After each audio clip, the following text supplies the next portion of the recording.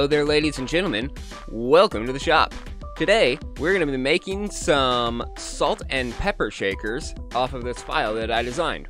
So, when you first open the file, it looks like this. This shows you your instructions for gluing all of the pieces together, what the finished product looks like, and also contact information for me and my site, along with some displays of the different pages. Page 2, 3, 4, 5, 6, 7, so on and so forth. Looking at these, you can see the different designs that are already there and ready. For instance, if you want to see number 2, or EF2 I should say, clicking on the page that's labeled EF2 will bring that up and show what it looks like. However, I don't want to do that. Instead, I'll show you how you can use the template and the base file to make your own custom shakers. So, on the template page, I have some stand-ins of pepper and salt. On the shaker set that corresponds to pepper and salt, and I'm going to find a font file that I happen to like for them. And I decided I wanted to go with this Skyrim style Daedric, or Elder Scrolls I should say, if you want to be technical. To make sure that both of these happen to be lining up in the exact same place, I will be putting the midpoint of that onto the midpoint of the guy there and then I can drag it down, and if I drag both of them at the same time, they will stay at the same height comparatively to each other. So, I'm going to drop that one right there in the bottom, and then on this side, I'm going to do it a little bit different, and I want to have it up to the top. And then, I'm going to put another one over here except these ones I want to be just those first two or first letter of each the S and the P. And by selecting both of them again I can change the size of both of them together. Let's go a little bit bigger. There we go. And selecting one at a time I can put them onto the midpoint on the center of the object again, grab them both, and slide them both up. And now, I'm going to add one last thing, which will be over on these parts. I guess I should drag one of those as well. Didn't really have to, but oh well.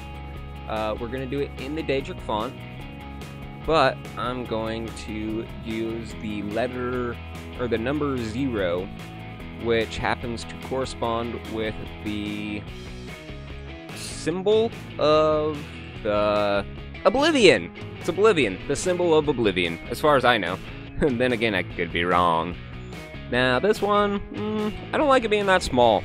Instead, I'm gonna make this guy take up a lot more space. Let's go about there. That looks good. Okay, I'm on the center, to that midpoint, and that midpoint. Uh, if you're wondering how I'm copying while dragging, clicking the right mouse button while you're hovering will turn the one that you're holding into a copy. So you can drop it wherever, bada bing, you have a copy.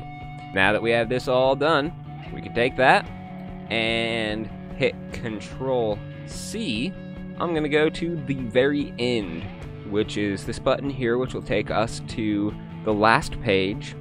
And then I'll hit New Page, so it'll drop a new one at the very end. And then, by hitting Control V, you can paste those in, group them together to make it easier to move and keep them from warping. Now we need to go all the way back to our base and select this hit Control C to copy it, come back to the page we were on, Control V to paste it, and there we have our Daedric salt and pepper shakers, custom designed, ready to cut. The button to send it to the laser, and then it opens it up in the laser, just like so. Now, because I already have a piece of wood loaded into the laser that is my pepper one, dark stained, ready for that, I'm going to select only the salt, press delete, and now we're only going to cut the pepper one right now. So, I'll click through each of these settings. That way you can see what mine are running at. This is a 60 watt machine. I only run it to a maximum of 60% power just to enhance the life of my tube. Plus, that's where I get my best cutting performance. So, that's why I do that.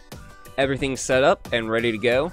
We have path optimized turned on with everything set to cut and ready to go. I'll go ahead and hit start and send that there.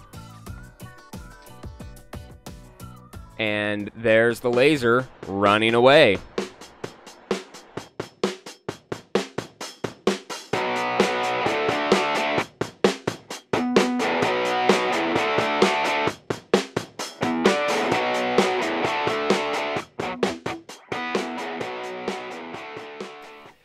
And in case you're wondering why the laser is running back and forth using these brackets and engraving within those, it's because those normalize the travel of the laser and keep the velocity of the head the same the entire time.